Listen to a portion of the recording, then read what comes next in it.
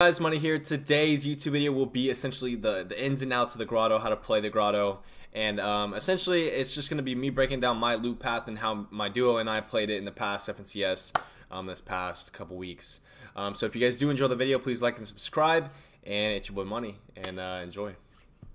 Alright guys, so to break down the, the start of the video, uh, I'm essentially going to go over all of the entrances of the grotto. There's an eight total entrances, there's a couple tunnels and, and whatnot, but uh, first one is the the hangar, the back hangar, where you can easily glide through. There's a henchman chest right on when you enter in a little quadrant over there to the left. You can enter on the back side over here through this little part of the cave, little hole kind of kind of tucked away back there. That's two.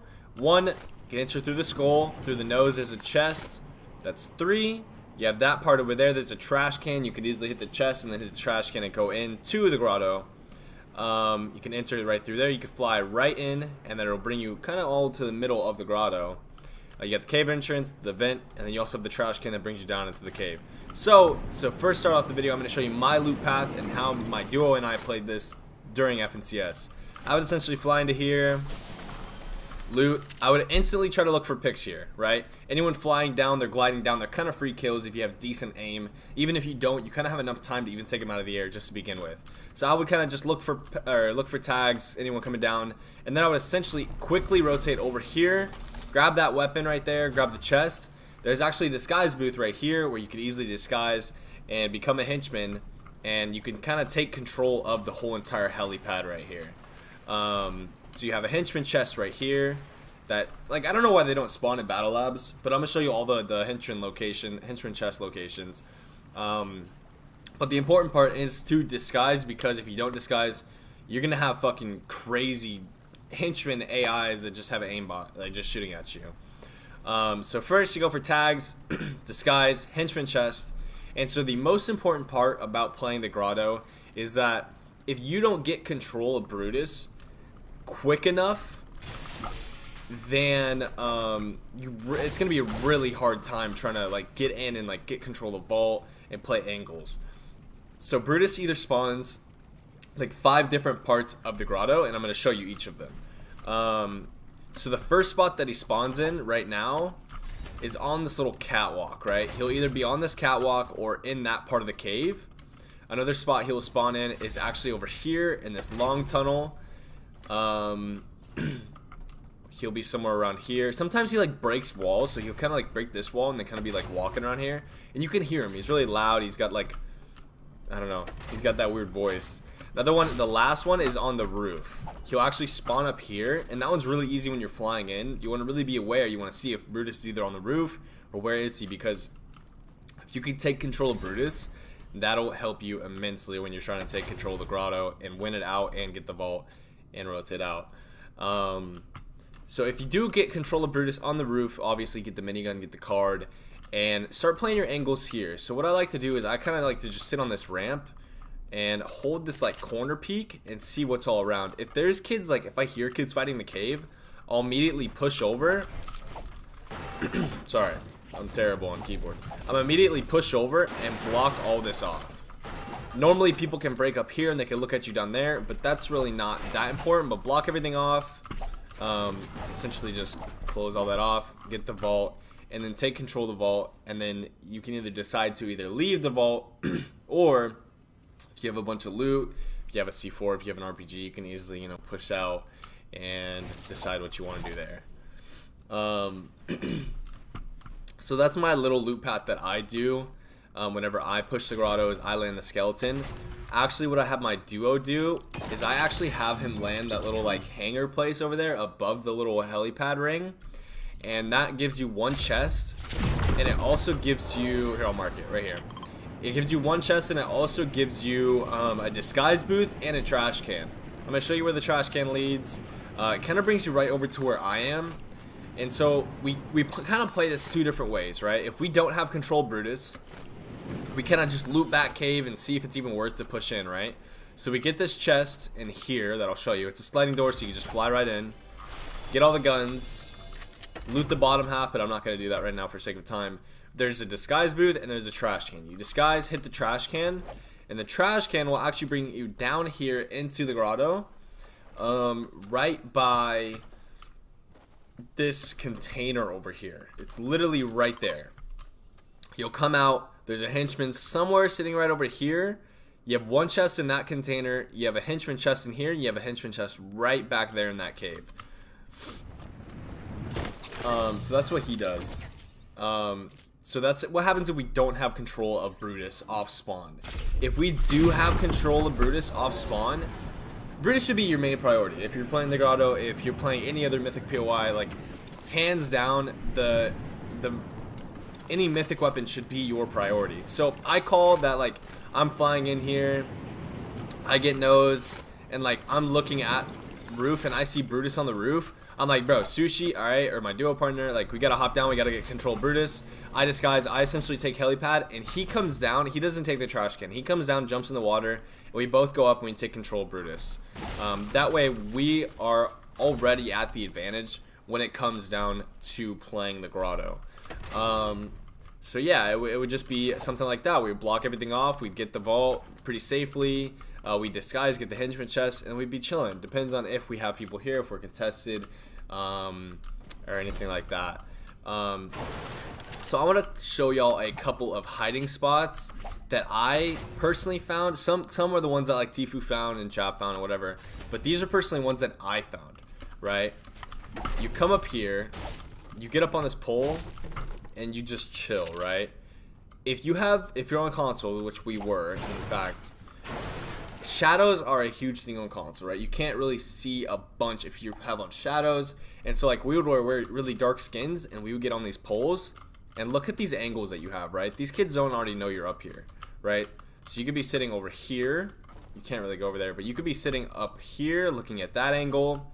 You could even get a right corner peek and look at that, or even that, right? So you essentially have all of control of the long tunnel with not really people not knowing where you are. Another thing is right over here you can play this to your advantage. This leads into the other room. It's pretty it's not really secret, but not a lot of people use it. I haven't really seen this used a lot. But yeah, you essentially have control of two rooms if you're playing this. And this gives you a left corner peek. This obviously gives you a right corner peek on the vent, on the uh, control room, on stuff like that, right? Um, this room is kind of like useless, but it has that little vent. So if you hear someone fighting, right, um, you can obviously hold the right corner peek, build and then come around and so it's not always like they won't always see it coming but it's also not like fucking a secret you know what I mean so those are kind of like a little bit of secrets that I know there's another one right here where you break this and you have control you can actually see the vault right here um, let me show you this one this one's kind of just like a right corner peek if you can't like see anything, like if you don't want to make it too obvious that you like like they know you're here, so you could easily like right corner peek, at least see if it's like people are over there and like see if people are on it. Um, the one Tfue found is right here, these two walls. These two walls essentially lead into the cave, and you can play this roof. And these little like, I'll destroy these for y'all. So these little right corner peaks are really good on the vault, and so like at the very start of FNCS, no one really knew that like this existed, right? And so like it was really good for like catching people coming down this hallway or even playing the vault, right?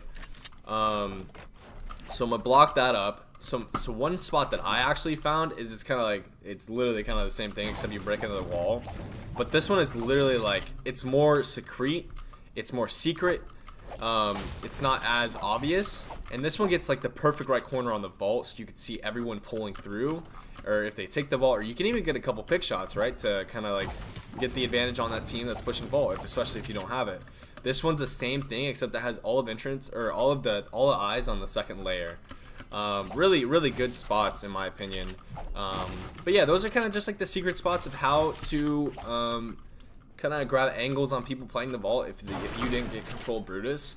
Um, and like I said, like getting control of the vault and getting control Brutus, like, like that, that's that's like the main thing you do, like you want to do when you're landing like a mythic POI is you want to get control of the mythic weapon and you want to win out of that.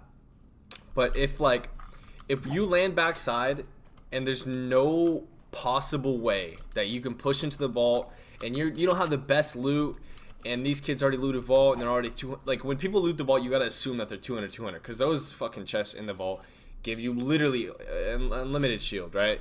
Um, So if you kind of just like, if you don't want to push vault, and you kind of just block all this off, you can take control of all backside of Grotto, and you can still get a good amount of henchman chests and come out with a decent amount of loot, right? So block all that off. Um, the other, also the other entrance is over here. They could easily come through the catwalk. So you want to make sure you block this off and block that off. And then you essentially just take control backside grotto and you make your way to the vent when you're done and hopefully you could just take the vent and you, you know, rotate up. You leave, right? Um, so that's kind of how me and my duo play the grotto is we kind of play like the skeleton and that little drop right there. There's two other main ways how to play the grotto and I'm going to try my best to cover them. But also remember I like these aren't the routes I choose because the one that I do is is the most efficient in my opinion. The other route is just straight up big dicking fucking Brutus, right?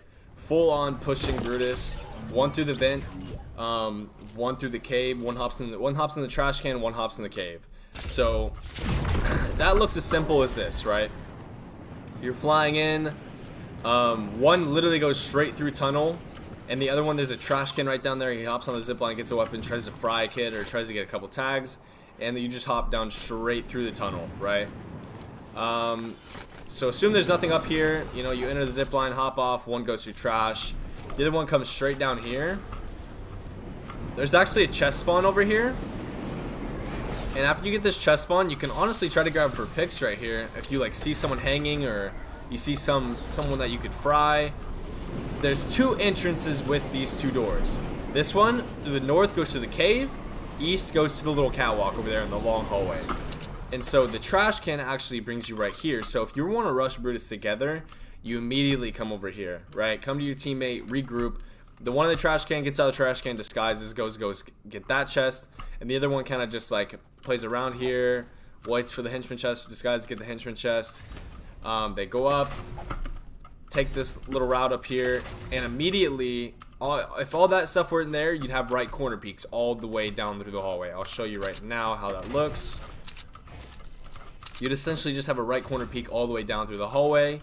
Um, you see where Brutus is. Like I said, if you land on this side of Brutus, like this side of the grotto, your odds of getting Brutus are a lot higher. And so, like like I said, Big Dicking Brutus is obviously like you want to do that. So if you want to alpha up Brutus quick, you're going to want to do this route. And that's the most efficient what you could do. You can even send just one cave. Like if this wasn't contested, this side of the grotto wasn't contested, send one cave, send one ca or long hallway. You could easily disable all the cameras. Those cameras are annoying. They actually, if you're smart enough when you're in a fight, they could actually be very useful. Um, so there's a chest down here, floor loot, floor loot.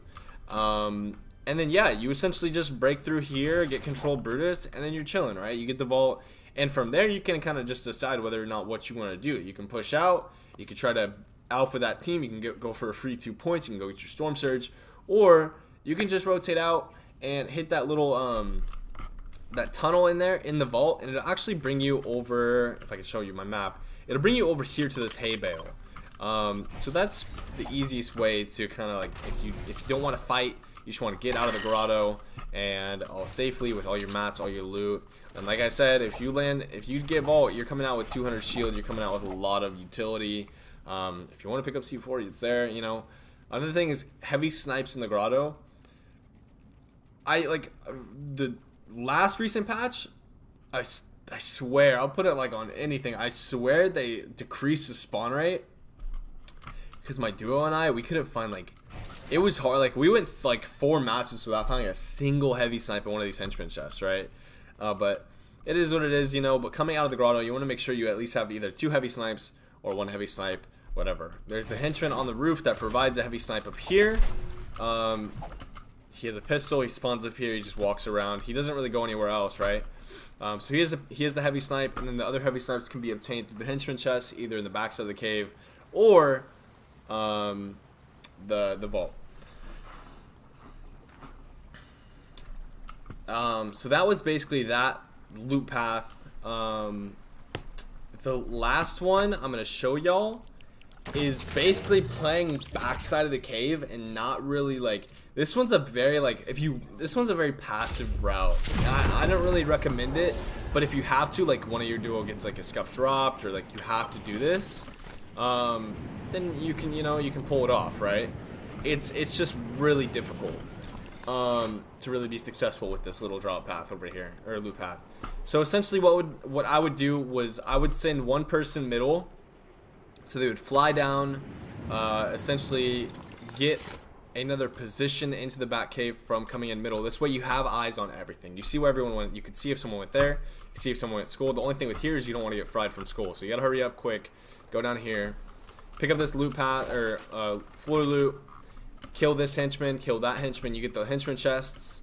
Um, and then you kind of just heal up and you decide what you really want to do in terms of do you want to grab that boat and leave or do you want to grab um, or do you want to make an assault on the grotto if no if only people landed vent and no one landed in middle of grotto or the skeleton that I showed y'all the first loot path then you can make an assault on the grotto with this loot path but you have to be quick you have to get control of the helipad like I was showing you from my loop path you have to disguise get the henchman chest henchman chest and hold your right corner peaks in the helipad um, this other spot over here, there's a henchman chest here. Um, that your other duo would get because your other duo would kind of come from this cave over here. He'd drop, he'd get a floor loot over there. He'd get this chest and kind of move on and start rotating in, kill the henchman, get the henchman chest, and um, yeah, I mean it just depends. Like this last loot path is very like very passive route in my opinion because like you can't really get control of Brutus at all back here. But that's not like that big of a deal because you can play your corner peaks if you get inside um, the helipad and stuff like that. So you can always get in here, start playing your corner peaks, even move up and even look past over here. Like I said, hop on these boxes, play that right corner peak down middle. So yeah, that's basically all the loop path, uh, loop paths that I know and how to play the grotto. Um, I just went over all the hiding spots for the grotto. Um, I'm now going to go over how to rotate outside of the grotto. So depends on what event you're actually playing in, whether it be FNCS if you're trying to go for Storm Surge, or uh, whether it be a daily duel cup where you're trying to W key and get first, because you can only get first to make money, you know, 750. Um, so there's there's two main rotates outside of the grotto. You have uh, this one right here inside the grotto, which I can't really mark, but it's inside the vent. It's inside the or the vault. Sorry, my problem or my bad. Um, inside the the vault, it brings you over here. It's it's a it's a um, little path that brings you over right behind like uh, under elevation. Um, that like you really only want to use that when you're in a tough spot, right? When you really have no other option, people are putting really heavy pressure on you outside of the vault. Um, you really only want to use that if you have to, right? Because that doesn't really put you in the best position. That's one of the rotates out. There's actually three in total, sorry. There's actually a boat on the back side of the grotto that I just showed you on the third loop path. And I can't really... Okay, there we go. There's a boat right here. You can do a lot of stuff with this boat, right? Say zone is pulling over here, right? And if you got vault, you have a bunch of uh, band-aid bazookas and you have a bunch of bunch of white heels. You can literally take this boat around the entire map, right? Dip in a Slurpee, get your HP. There's like six campfires on the way. One, two, three, four, five, six. There's a bunch. There's even probably more, honestly. If you guys want to look on loot, uh, like info, you can literally see that. You can map it out. But that boat is always there. Me and my duo personally never did this just because we were never in the position to. We always alpha grotto and we didn't. We probably died. But um, we we basically never did this, but it's an option, right? There's always an option to do this, right? Um, the whole thing about rotating to zones is rotating on dead sides of halves. You want to rotate, like, especially if you don't have the best loot, you don't want to rotate where people are already being, like are. So if you have a zone like this, right, that's not dead side. This is dead side, right over here. Because like, if you if if this is the zone, right? Nobody's gonna pull a Navy Team SEAL fucking six, right, and come behind you at this little spot and like just third party you. You know what I mean? But like if you came right here and the zone is on that part, like you're gonna run into people and it's either gonna be like you have run into smart people who don't want to fight, or you're gonna run into straight brain dead people and they want to fight and they want to alpha you and it's just gonna come into a big old shit show where you have to either you have to either win out or you you die right um so assuming you zone for the grotto right? If you're playing competitive fortnite you need storm surge. Um, some easiest ways to get storm surge are a couple mountains outside the grotto. I'm going to show you really quick. Um, it's these couple mountains right? I call this one chair mountain because there's chair up there this one's retail mountain and this is donut because or cinnamon cinnamon bun whatever. Donut cinnamon bun whatever you want to call it. These are the three points of elevation all around the grotto that you can easily rotate with the vent right so I'm going to show you how to get to all of them. Easily rotate up to this retail mountain. Get up here. Okay. Let's do that again. Normally you you can. I don't know why I didn't. Was unable to. Okay, so normally you get up here, and this is really good for Surge, right? If you need to find Surge, people in retail, you're getting your Surge, you're moving on. If you have a heavy sight though and you tag someone, it might be worthy enough to push into retail because retail doesn't have a ton of loot and it's very inconsistent with its loot. So like I said, this is one of the points of elevation. You can even move on there if people are rotating out of retail. Um, and I'm going to bring y'all right over to that part of elevation. And another thing about this spot is these zip lines actually provide a, very good amount of um, rotation as well, right? This brings you all the way down to Steamy. If you if like Storm is all the way over here, that's a very easy rotate um, all the way down Steamy, right? And it even sets you up good for Surge because you you can easily just sit up on here and start tagging kids rotating out of Dirty, or even tag kids over there rotating through the river. You know what I mean? So that's kind of how to how to rotate um, with those those natural elevation, which is we call the zip lines, and there's natural mobility right there. Um, so I'm gonna show you this high ground right here. Um, if you have zone though, you want to kind of grab these mountains quick because these mountains are really solid for seeing what's all around you, right? I'm trying to build a cone. I'm sorry, I'm not a professional on the keyboard. But this literally sees everything, right? You have eyes on basically a majority part of every rotate coming out of here. The henchman spot, the mini junk junction. You have kids coming out of dirty, right?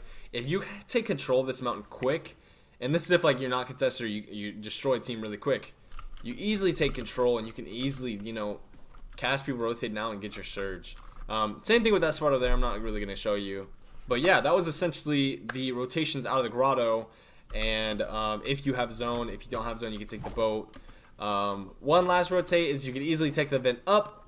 You can come here to this lake. If me and my duo, when we rotated out of here to the lake, we were like almost. This was almost all never looted, right? But we also had enough loot to the point where like we didn't need to loot it, but like we had to move quick because zone was coming. So we just take this boat. We'd essentially just take this boat all the way down the river. If zone was over here and Weeping, we'd just take it right up on the land and then walk it or we'd take it all the way down. We wanted to stay away from agency because agency is kind of like the middle of the map, obviously. So most of the fights go down there, or people trying to, if they have a base up there, they can try to hold tags like stormhold people. You know what I mean? So yeah, I mean that's kind of like the rotations out of the grotto. I think we just got done with all the loot paths and all. I, I, honestly, I think we covered majority of it. We covered all the hiding spots. Um, let me see if my notes, if anything I didn't go over. Um, yeah, I mean, I'm pretty sure that's it. If you guys have any more questions, um, feel free to hit me up on any social media. I'm very active on my social media. um, so if you guys want to, you guys can uh, more than more than welcome to ask me a question. Um, I'm mostly active on Twitter. Uh, my Instagram is I'm also active on there as well. Um, so basically, all my platforms are MoneyFN. My Twitch is MoneyFN underscore and what you guys are watching on right now, my YouTube is MoneyFN as well. Um, so if you guys have any questions, feel free to shoot me shoot me a DM, be like, "Yo, uh, I didn't really cover this in the video. What do you think about this? Or how do you play it in this situation? Um, like if you have a situation or you have a clip you want me to go over, feel free to DM me. Uh, I'm an open book, you know. So um, yeah, guys, I hope you guys really enjoyed the video. If you guys like these types of videos and you guys want me to do these videos on like different mythic POIs or like how to play POIs in general, or like you guys want me to make this a series, feel free to let me know. You know, I right now with all this quarantine stuff, COVID nineteen, like I have plenty of time to to crank out videos and like strategic videos. Um, so if you guys like these videos, just let me know, man, and then I can I can start making like a series or something. You know, if you guys really enjoy this, so. Uh, I appreciate everyone who is still watching this far. You guys are amazing. You guys are awesome. Um, but yeah, it's your boy Money, and I hope you guys have a great night.